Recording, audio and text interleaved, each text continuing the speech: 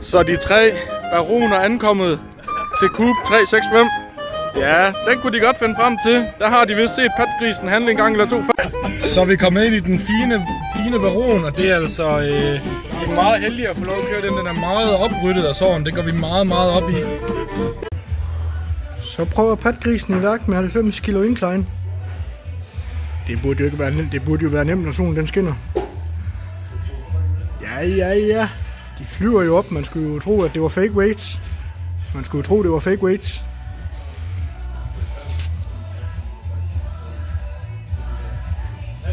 Jeg skal også snart barbere sådan noget, men det ser skrækkeligt ud. Det ser skrækkeligt ud, det, de armhår.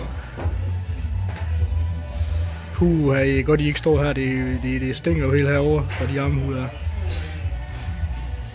Det vender man sig til.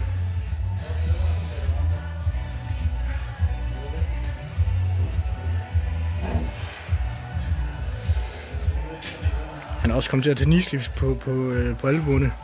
Men det, det er jo patgrisen i nødskal. Oj, wow, wow, wow. Hvordan var det? Lækker. Dejligt kontrolleret, lidt ustabil rack, men altså, så man bort fra det, så, øh, Så er der ingen kvaler i halsen. ej, så, så, så flyver de sgu op i dag. Efter lidt bænk i går, så tager jeg på ramme et lille chestbomb i dag. Ja, ja, ja. Så det går som det skal. Der bliver, der bliver kørt sputterpress herover. Det spændende er nu, her, når han skal rack den, fordi for, går man først derop, så siger det altså godnat. Øj, der kommer lige en tosspids ind der. For, for man først til rack derop, så ligger man altså på skadestuen. Øj, nej, nej, nej, nej. Det er en katastrofe, det er en katastrofe.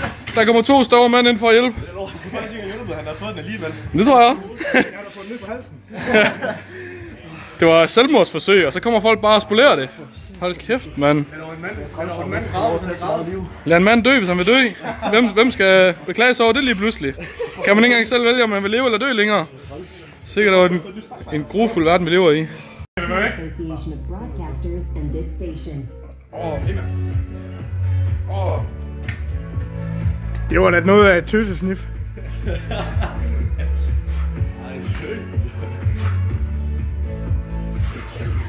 Could have my Gucci on. I could wear my Louis Vuitton. Han kører det desværre ikke engang fuld stak. Tåbe. Hvordan var salten? Det er selvfølgelig faktisk øh, fint nok. Det er faktisk ligesom... Øh, det er ligesom at øh, få sådan noget... Øh, hvis man lige står i vores hjem, og man kommer hjem efter en lang køretur, man kommer ind i, ind i huset, uh, så får man altså den samme effekt. Så det er nok det tætteste, hvis jeg skal anbefale til nogen lige på at komme hjem til os efter en lang køretur. Kom så. Kom, kom. Det er ondt i patværket, det her, mand. Så smid trussen. Hvad fanden? Ja, ja, ja. Der ikke er til Chest pump. Det er sgu lækkert.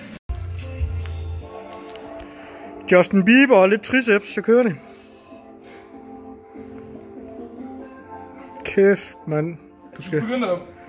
Jo, men det er sat måde ved at være, være en bleg arm, du har. Ja, for helvede, mand. Det er godt, solen den begynder at nærme sig. De der knee sleeves, ikke? Dem kan jeg kraftigt med lugte. Det er ligesom det der smelling salt.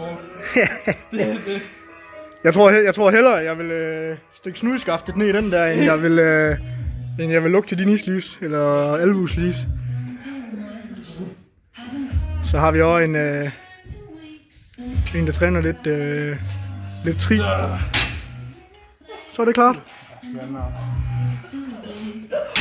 Nu skal vi lige teste, om den anden arm den er lige så stor.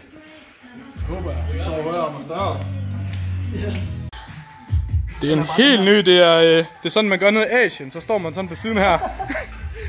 Det er, det gør alle i Asien. Det er der, han har lært det fra. Han var lige nede på, på hjemmebesøg, og så fandt han ud af. Den her del af den bevæger ikke, så det Nå, men det er faktisk sygt nok. Jeg har aldrig set det før.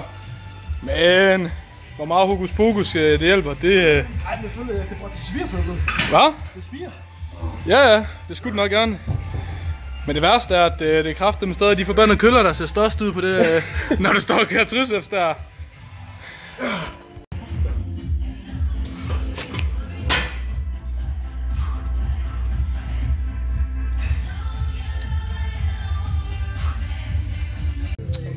Ja, så fik vi klaret den træning.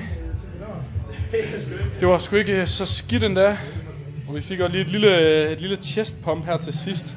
Så det, øh, det klæder vi jo aldrig over.